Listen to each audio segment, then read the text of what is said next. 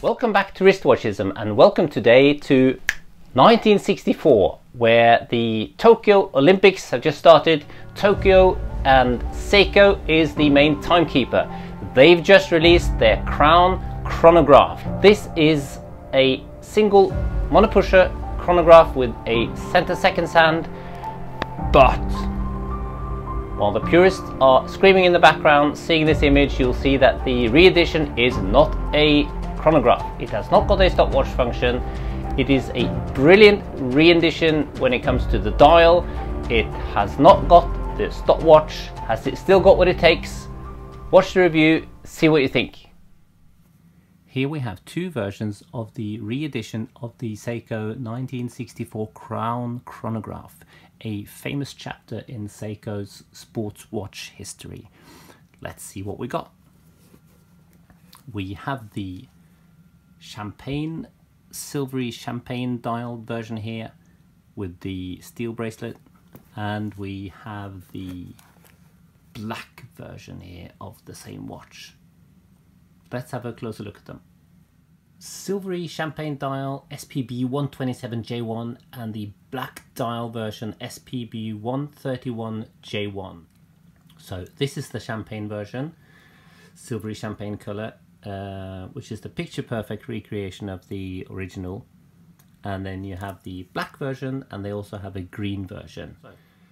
This is a very nice variation on the design. I'll start with the dial.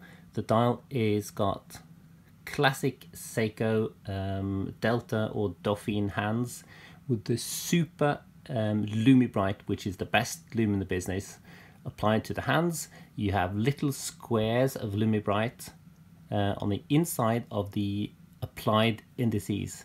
The applied indices are faceted and split down the center so it gives a brilliant play of the light, as you can see here, like we're used to from, from Seiko.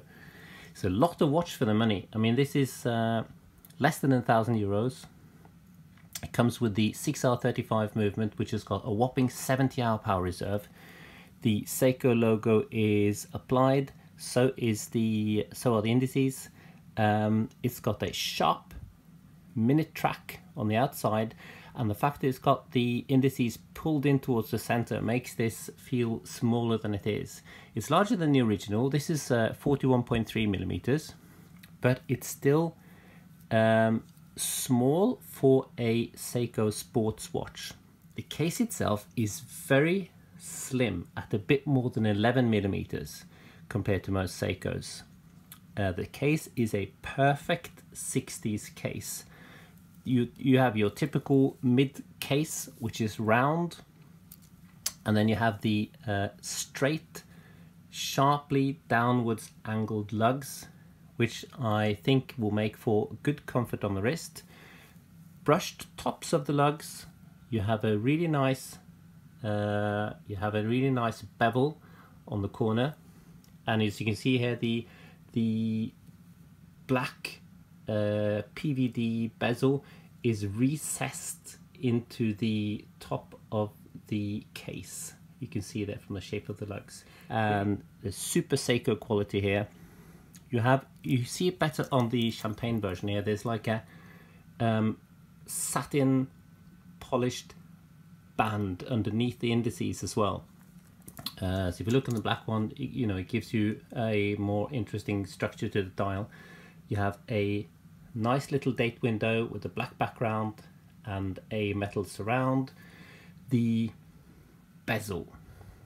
So the bezel is, on this watch, it's a bit less functional than we are used to because you can turn it and use it to time minutes from the minute hands or if you're bloody quick you can actually follow the seconds hand around and then time seconds but you know if I'm perfectly honest, the action is superb. Uh, it lines up because it hasn't got any clicks, It's not a problem. But most of us are not going to use this bezel for any kind of timing, let's be honest. Um, the case itself, as I said, it's lovely. 20 millimeter lug width will work fantastically on some nice leather straps. The only thing I have a slight issue with is the fact that the oyster style steel band is very modern. You know, this isn't a perfect recreation because it's not a chronograph.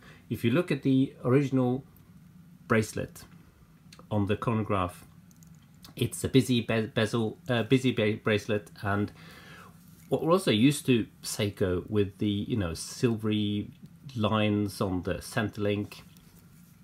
Um, so for me, this the, the bracelet is very nice, but a bit modern and minimalist for the watch. But lovely just the same.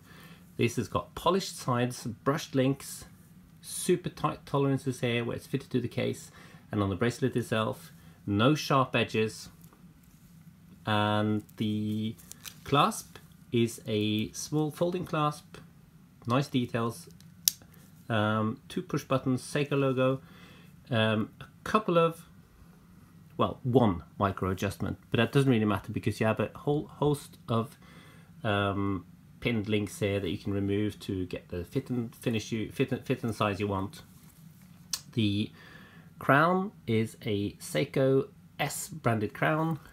Around the back you have a simple round polished back with a serial number because each of these models with the different colors are only produced in a number of 1964. So the usual way of doing uh, limited editions now. So it's a proper limited edition, it's numbered, very nice, lovely black version, beautiful champagne version, which is a perfect evocation of the 60s. This color with the applied indices is very busy, but it does play with the light brilliantly. Um, let's come back to the uh, facts and then show you what it feels like on the wrist. It's got a 48.3 millimeter lug length. It's got a slender 11.3 millimeter height. It's got a um, domed sapphire crystal with an anti-reflective coating and a nice steel oyster style bracelet. Screw on back which is hiding the solid workhorse movement 6R35 which was massively improved in 2019 it now boasts a 70 hour power reserve which means that you can put this down on a Friday go mountain biking with your G-Shock pick it up Monday morning it'll still be ticking away. Yes for once Seiko has made a sports watch at 41 millimeters. It is quite thin at 11 millimeters it's got arm hugging lugs and the bracelet is super comfortable with a picture perfect 60s style. What more can you want?